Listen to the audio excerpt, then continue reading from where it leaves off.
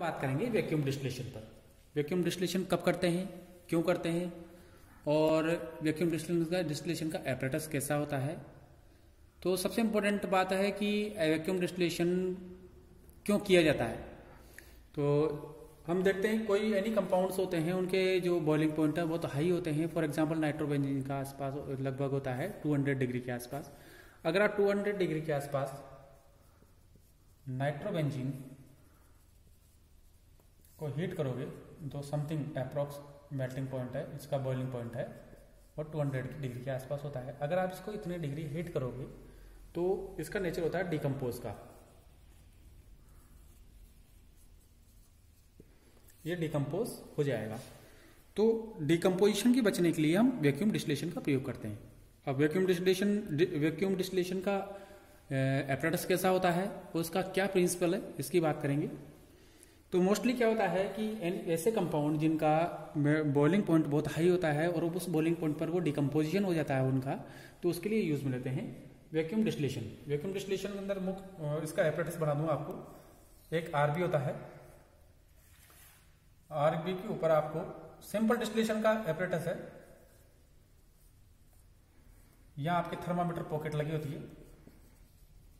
Thermometer pocket यह आपका RB इसके बाद में यहाँ पर कंडेंसर लगा होता है। दैट इज़ द कंडेंसर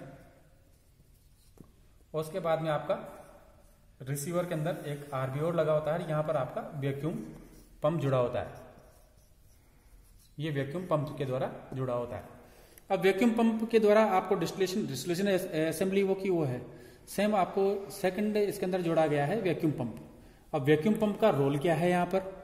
और वैक्यूम पंप यहाँ से आपकी हीटिंग हो रही है। दैट इज़ द हीटिंग यहाँ आप हीट कर रहे हैं, या थर्मोमीटर में आप टेम्परेचर देख रहे हैं टेम्परेचर यहाँ से वो सॉल्यूशन बॉयल होगा। बॉयल होने के बाद में यहाँ पर वाटर का आपने कनेक्शन जोड़ दिया। और उसके बाद में ये डिस्टिल होके यहाँ पर आ रहा है। साथ साथ में वैक्यूम पंप के द्वारा आप वैक्यूम जनरेट कर रहे हो। अब वैक्यूम पंप की आवश्यकता क्यों पड़ी? इसको वैक्यूम डिस्टिलेशन क्यों किया जाता है? क्यों किया जाता है? ये तो मैंने बता दिया आपको क्योंकि कोई भी कंपाउंड का अगर बॉइलिंग पॉइंट हाई होता है तो उसका डिकम्पोजिशन हो जाता है। डिकम्पोजिशन से बचने के लिए आप वैक्यूम डिस्टिलेशन का यूज़ में लेते हैं। अब मोस्टली आप डिस्टिलेशन कब होता है? आ, कोई भी सोल्यूशन बॉयल कब होता है? इसका मोस्टली एक, एक सिमिलर रूप से मैं बताऊँ आपको कि जब एटमोस्फियर पे प्रेशर एटमोस्फियर प्रेशर अगर वेपर प्रेशर के इक्वलेंट हो जाता है that is the boiling point ये नॉर्मल डेफिनेशन है बॉइलिंग पॉइंट का। अगर आपका एयर एटमोस्फियर प्रेशर अगर one M M H G है, और vapour pressure one M H G के इक्वलेंट हो जाएगा तो वो सॉल्यूशन बॉयल होने लग जाता है। That is the boil that is the boiling point अगर सपोज़ अपन नाइट्रोबेंजीन ऐसे कंपाउंड होते हैं जिनका बॉइलिंग पॉइंट बहुत हाई होता है, अगर उनका, अगर आप बॉयल करोगे तो 200 डिग्री के आसपास जाके बॉयल होंगे और वो डिकम्पोज हो जाएँगे। तो निश्चित है वैक्यूम पंप लगाने के बाद, अगर वैक्यूम पंप आपने वैक्यूम जनरेट कर दिया तो उसका atmosphere pressure that is the down ये डाउन हो जाता है। किससे? वैक्यूम जनरेट से। वैक्यूम अगर जनरेट कर दिया आपने तो एटमोस्फियर प्रेशर डाउन हो जाएगा। और एटमोस्फियर प्रेशर डाउन हो जाएगा सपोज़ एटमोस्फियर प्रेशर हो गया आपका 0.5 तो 0.5 पे अगर आप अगर का आप, आपका वेपर प्रेशर अगर 0.5 हो जाएगा जिस समय पर उस समय पर वो सॉल्यूशन बॉयल होने लग जाएगा और बॉयल होने के बाद में कूल डाउन होने के बाद में आपको डिस्टिलेशन के अंदर प्राप्त होगा। मीन्स 50 डिग्री सेंटीग्रेड के आसपास ही अगर आपका वेपर प्रेशर 0.5 आ जाता है तो आपका 50 डिग्री सेंटीग्रेड पर वो सोल्यूशन आप डिस्टिल कर सकते हैं। उसको 200 डिग्री सेंटीग्रेड की रिक्वायरमेंट नहीं है।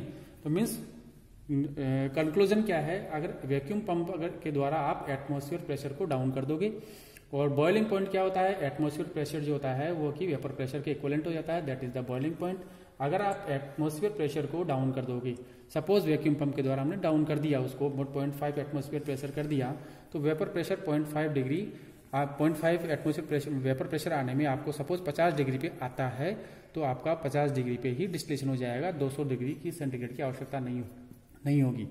इसलिए हम वैक्यूम डिस्टिलेशन करते हैं और साथ साथ में डिकम्पोजिशन से बचने के लिए। दो दो इंपॉर्टेंट चीज़ है वैक्यूम डिस्टिलेशन के अंदर। पहला तो मीन्स है वैक्यूम डिस्टिलेशन तब करते हैं जब आपका कोई भी कंपाउंड डिकम्पोज उस टेम्परेचर पर डिकम्पोज हो रहा हो। दूसरा वैक्यूम लगाने के बाद में आपका एटमॉस्फेयर प्रेशर जो होगा वो डाउन हो जाएगा। जिस समय पर एटमॉस्फेयर प्रेशर वेपर प्रेशर के इक्वलेंट हो जाएगा that is the boiling point suppose 50 degree पे आपने प्रेशर डाउन कर दिया और 50 डिग्री पर सपोज़ 0.5 एटमोसफियर प्रेशर आता है तो आपको डिस्टिलेशन 50 डिग्री सेंटीग्रेड पर ही हो जाएगा.